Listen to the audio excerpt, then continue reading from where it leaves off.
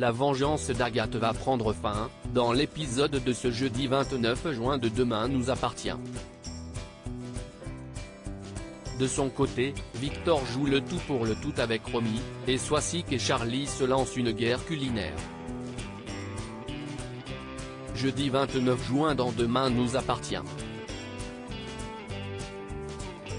Raphaël se rend à l'hôpital. Nordine et William lui annoncent la mort de Martin. L'avocate est très en colère contre le médecin qui lui assure qu'il n'aurait pas réussi à le sauver. La mère de Maud et Camille pense que si est de sa faute après leur promenade en amoureux de la veille. Au commissariat, Agathe, qui peut aller très loin dans sa vengeance selon son interprète Raphaël Agogier, fait un discours en hommage au commandant Constant.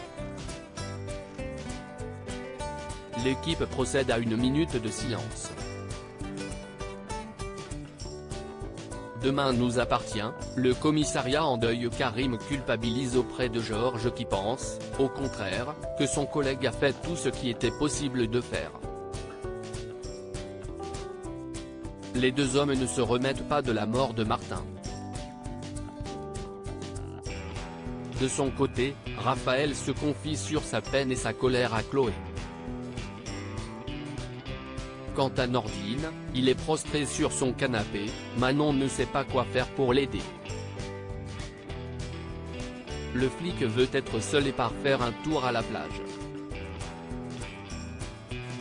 Damien indique à Georges, Aurore et Agathe que Martin a été empoisonné.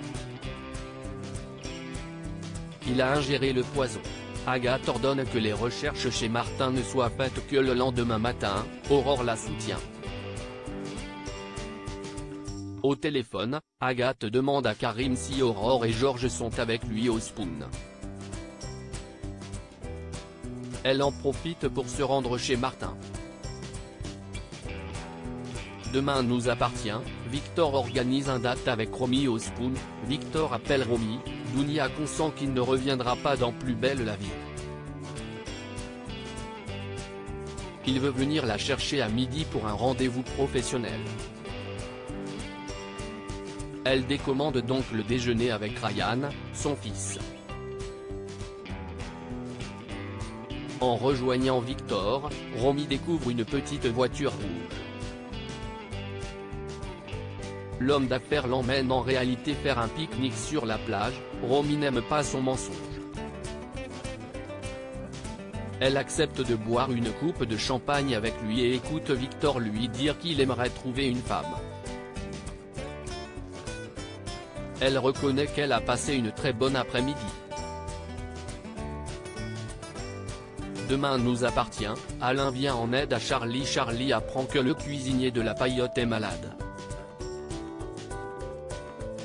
Alain, le père de François, lui propose de scènes chargées. Il sait cuisiner une paella pour 100 personnes. François et Adam lui viennent en aide. La paella est une véritable réussite. Soisic le félicite pour son plat et en profite pour provoquer Charlie. Si est-il la guerre entre les deux femmes qui demandent une nouvelle ration de paella très épicée? En revenant chez elle, Charlie est malade. François souhaite qu'elle arrête sa guéguerre avec son ex. À la fin de l'épisode, Agathe efface les traces de son passage chez Martin. Si est alors que le commandant Constant l'arrête avec son arme.